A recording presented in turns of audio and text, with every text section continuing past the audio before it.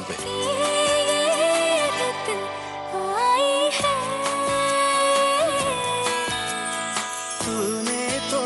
छोड़िए ना।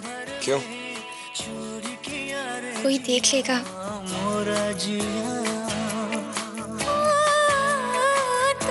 तो?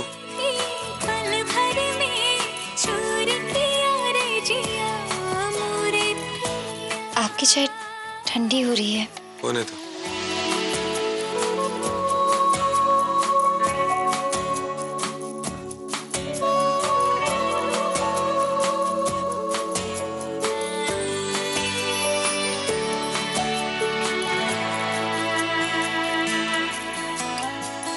चुप गुप चुप दिल में आया? सजना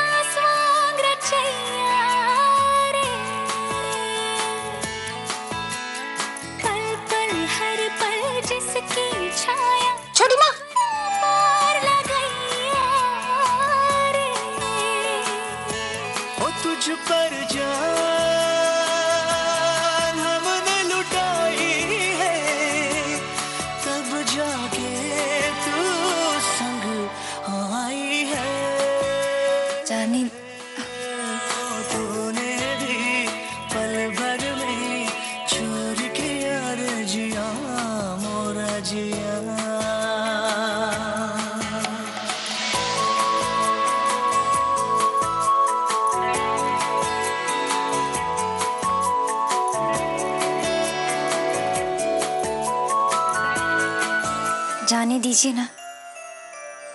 पर क्यों? तुम तो मेरी पत्नी हो ना? अच्छा ठीक है। पर एक शर्त है। तुम्हें मुझे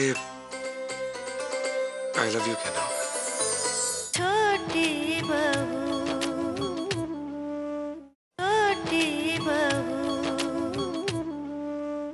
तुम्हें लगता है राधिका? ये जीना सा पड़ता मुझे तुमसे दूर रख सकता है। हम तो दुनिया की हर दीवार तोड़कर एक दूसरे के करीब आए। है ना?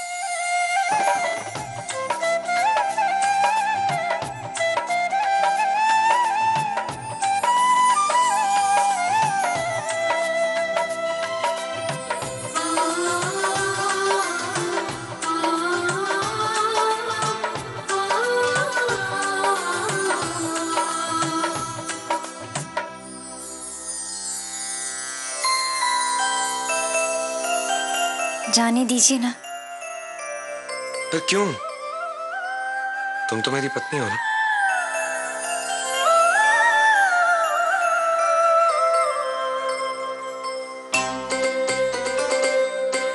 अच्छा ठीक है।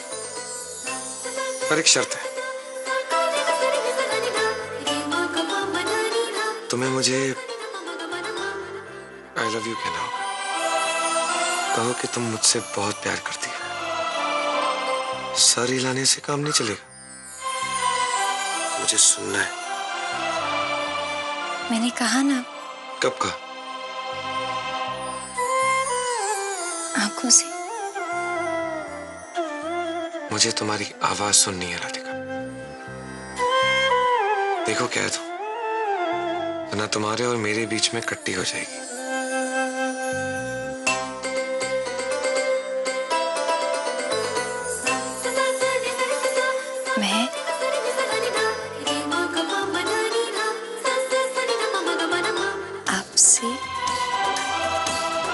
बहुत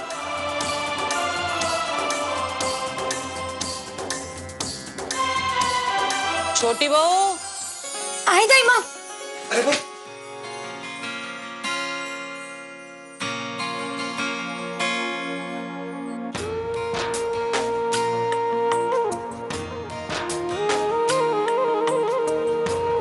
छोटी बहू तनिक यहाँ आना। जी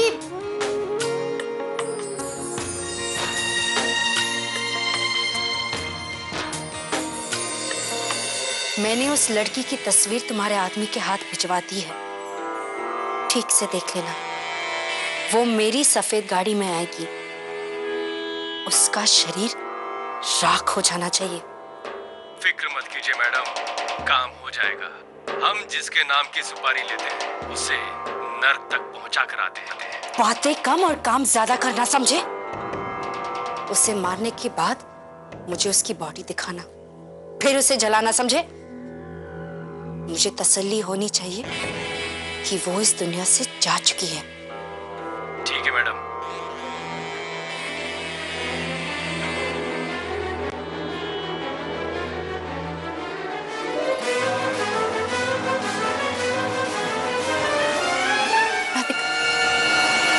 अभी रावल से फ़ोन आया था।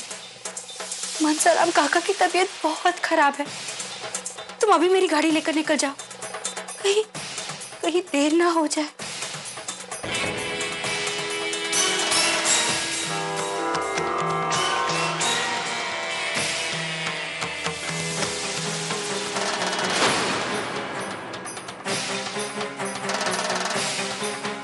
राधिका, ये लो। बरखा की मांग से सिंदूर हटा दो।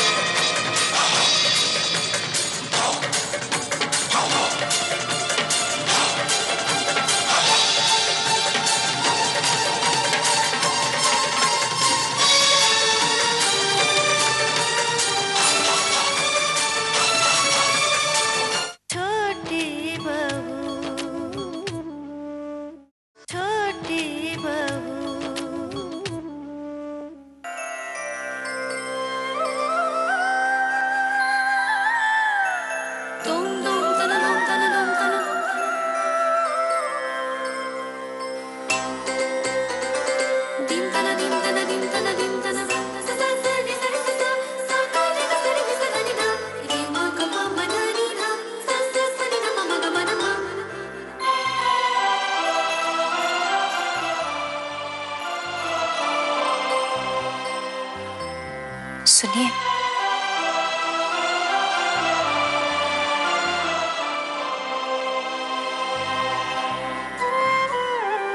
क्यों गुस्सा कर रहे हैं? क्योंकि तुमने मुझसे वो नहीं कहा जो मैं सुनना चाहता हूँ। आप जानते हैं ना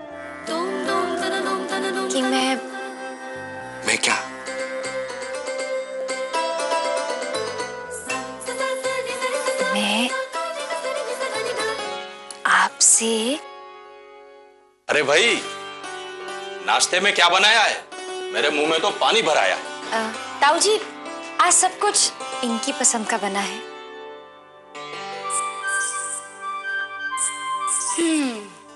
मुझे नहीं चाहिए।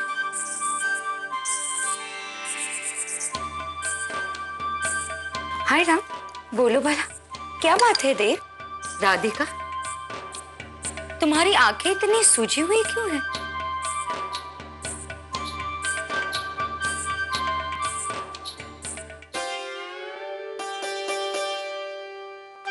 रात भर अच्छे से सो नहीं पाई।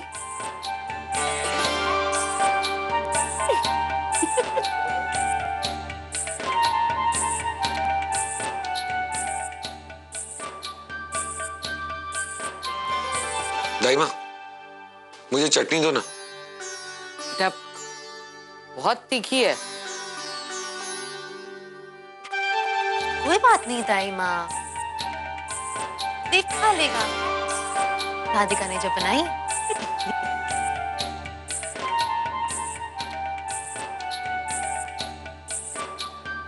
मेरा तो अरमान ही रह गया। कि महेश्वरी के हाथ का बनाया हुआ कुछ खाता वो मुझे करेला देती तो भी उसे मीठा बताता।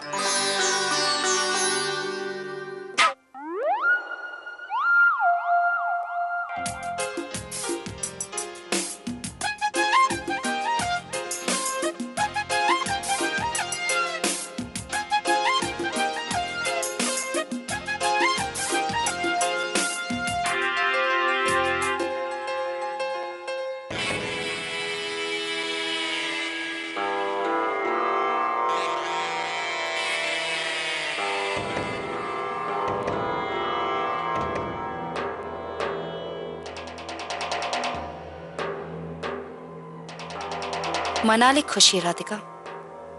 थोड़ी ही देर में तू मरने वाली है। कुछ गुंडे तुझे मारने के लिए तैयार बैठे हैं। अरे बरखा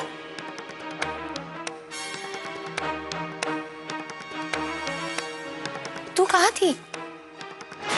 उर्मिला काकी का फ़ोन आया था। उनकी तबीयत बहुत खराब है।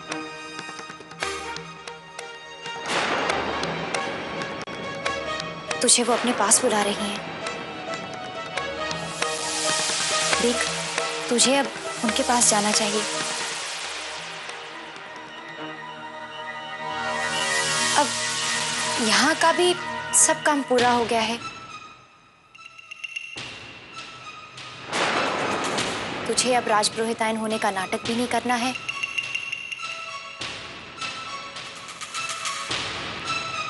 तेरा फ़र्ज़ बनता है कि तू अपने परिवार का ध्यान दे।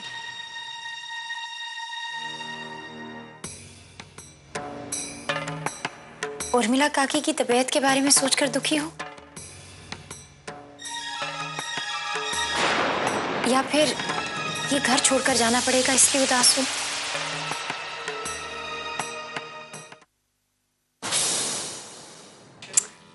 अरे पगली तेरा जब भी अपने दोस्तों से मिलने का मन करे तो यहाँ चली आना।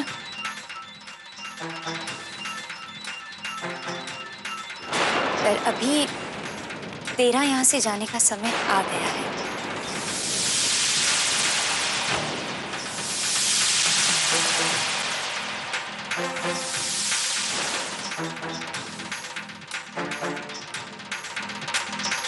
अब काकी का ख्याल जो रखना है तुझे। राधिका का कहना सही है। माँ की तबीयत को नजरअंदाज करना ठीक नहीं है। पर अब कांच पे ईपर की दुम ना लगा बिटिया।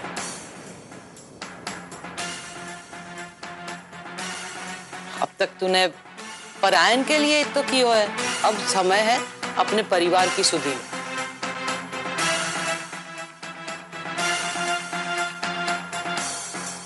नया जीवन शुरू कर। और वहाँ जाके हम सबको भूल मत जाइयो।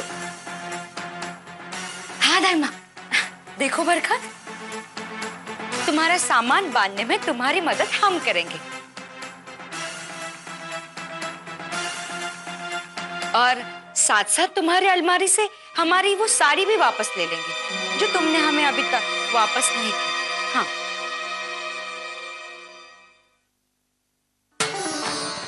या तो राधिका ने मेरी चाल मुझी पर चल दी। काश देव मुझे जाने से रोक दे। कुछ बोलो ना देव। कुछ बोलो ना। वैसे वर्षा अगर अभी निकलोगी तो दिन रहते ही पहुँच जाओगी। हाँ दिन रहते ही पहुँच जाना ठीक है। आजकल रास्ते में कुछ भी हो जाता है।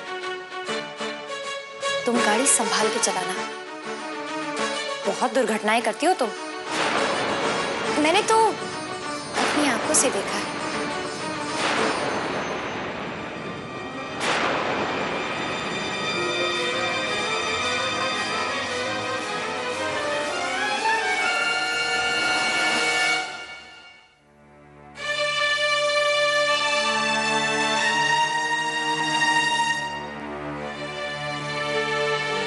बरखा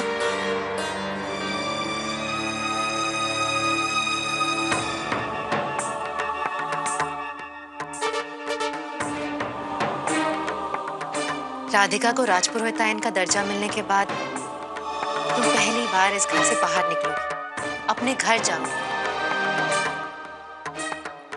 तुम्हें ये नकली सिंदूर लगाने की कोई ज़रूरत नहीं है। अब समय आ गया है कि तुम इस झूठे बंधन से अपने आप को आज़ाद कर लो और अपनी ज़िंदगी अपनी मर्ज़ी से जियो।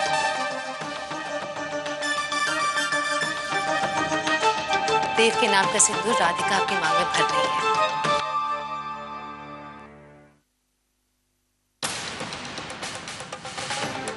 अब तुम्हें सिंदूर लगाने के लिए विवश नहीं होना पड़ेगा। हाँ बरखा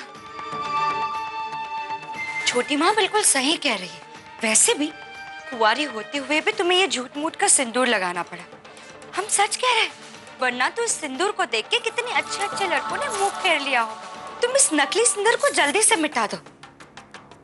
फिर देखना, किसी अच्छे घर में बहुत जल्दी शादी हो जाएगी तुम्हारी। हाँ है ना छोटी माँ?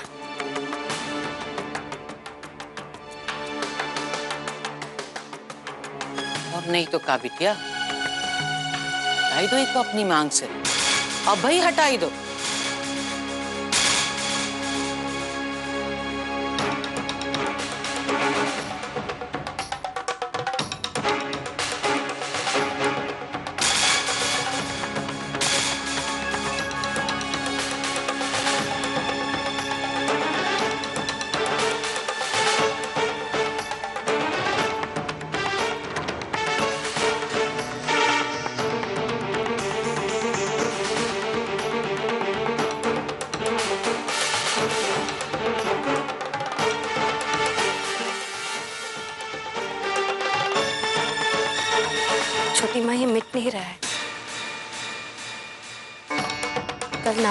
निकल ही जाएगा।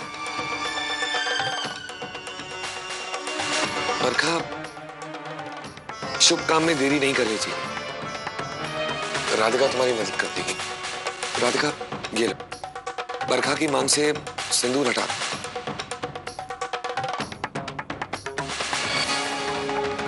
इसकी मांग का सिंदूर मेरे भी मन का बहुत बड़ा बोझ है।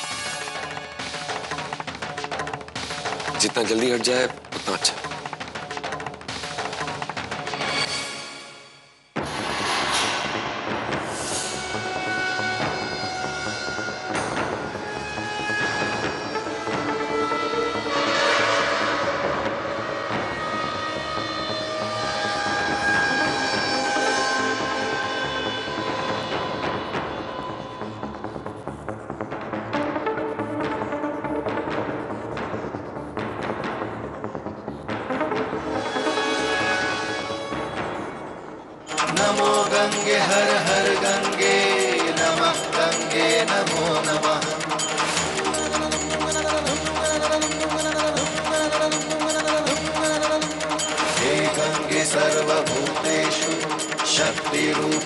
संस्थिता।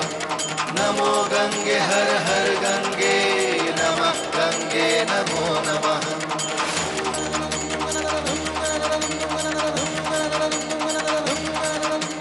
हे गंगे सर्वभूतेषु, कृपारूपेण संस्थिता।